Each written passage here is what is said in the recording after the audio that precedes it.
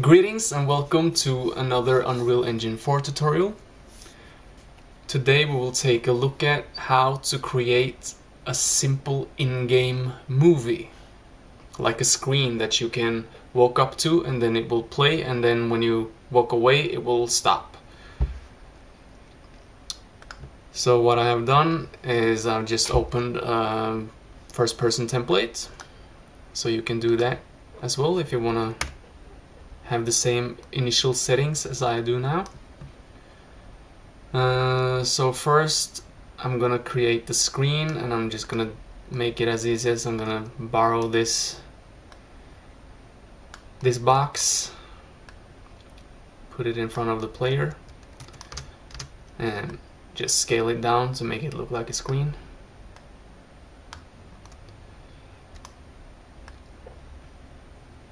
like that Yeah, that's good enough. And then save.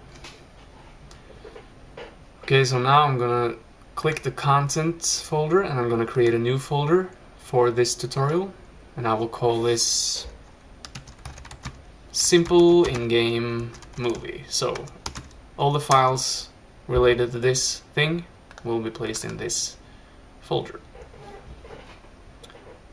Now the first thing to do is to create a media player. So you right click or take add new and go down to miscellaneous. And then all the way down here you see the media player. So you click that. I'll just call this in-game movie. Save. Open this. And as of now there's no media here, of course. Uh, so we will go here to the source and find the file but first it's important that the movie you will be using is located inside of this folder. And I have found a little movie that I created like four years ago. It's just a little 3d snippet of this alien. So I'll be using this. So I'm just gonna drag this right in to this folder. Oh! So I didn't have to create the media file. It's already a media player. So that that's good, you know. I'll just delete this then. But just so you know, if you wanted to find it instead, then you could go here to the source, click this, and then find it. But we don't have to do that now. So delete that and here it is so I'm just gonna save that and open this instead. Now we can't see anything so we gotta play and here it is. Um, so the next thing now is to make this into material that we can place on this fake TV screen. So you right click your media player and you take create media texture I'm just gonna let it be that name. Save again. If I open this now, you see there's nothing here. And there's nothing here either, so what I gotta do is go back into the media player and play. Just let it play, then you will see it pops up on the texture. So then you know it works. But it's still not done, so we gotta right click this texture and then take create material. And again we cannot see it here so if you just play then you will see it here so then you know it's right. Save. And now we have what we need. So we can take the material and drag it onto the whatever this is the screen. Here it is. Now if I go into the media player again and take play and just let it loop so you have the playback and you have looping on so it loops. If you go back out now and just take play, you will see that it it just loops and it's just working. But we want it to turn on when the player, you know, overlaps a trigger. So go back into the media player and pause it. and by the way I want it to be a little bit brighter than this so I'm gonna double click the material and then connect the emissive color to this first node. So now the screen will be bright and nice and will shine like a real TV screen yes. Um, yeah so what we want to do is create the trigger that will play it. So find a box trigger drag it into the scene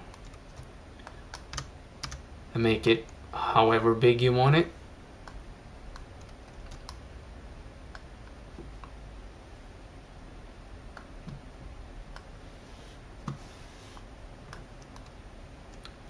That's probably good enough. So with this trigger box selected open the level blueprint and create one begin on overlap and one end overlap. Collision.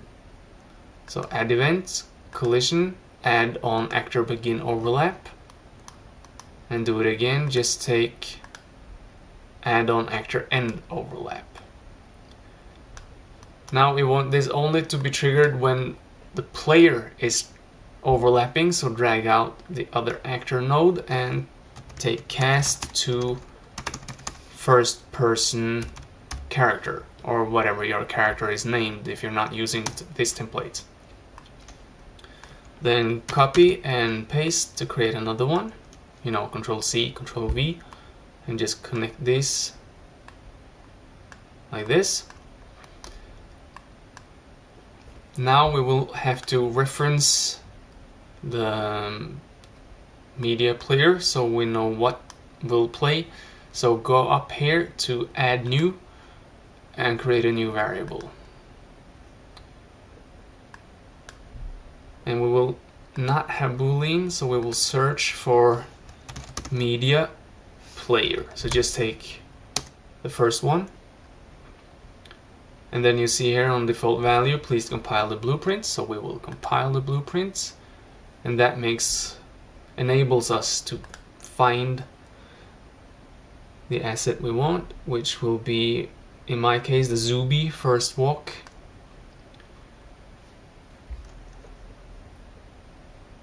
And it must be said that I know like this file is an AVI and I have also tried the Windows Media Player file format so I know those two work, but I don't know, you know, if you're using like, yeah, some other file type, it might not work. I don't know, so you will just have to try it. Okay, so now that we have this, I'm just gonna call this movie variable like that. Oh, and then compile once more and do it once more like that. So now in the variables we have it here, so we will drag it in and we will set it. Nope, nope, nope. We will not set it. We will in fact get it. Like this. And then we will drag out from this node and we will write play. We're gonna pay it, man. Play. And then simply connect this to that and we will drag out another one and we will write pause like that and connect pause to the end overlap now it should play once we begin the overlap and it will pause when we end the overlap logically enough now let's see if the magic is indeed real Here we are, walking around. Oh, a TV! Boom, and it plays! There is a God. so, you know, and then when I exit, it stops. Begins. Like that. So, that's it. That's a really simple screen in-game movie and I might be taking this further in another tutorial, but not today. So Have a great day and take care.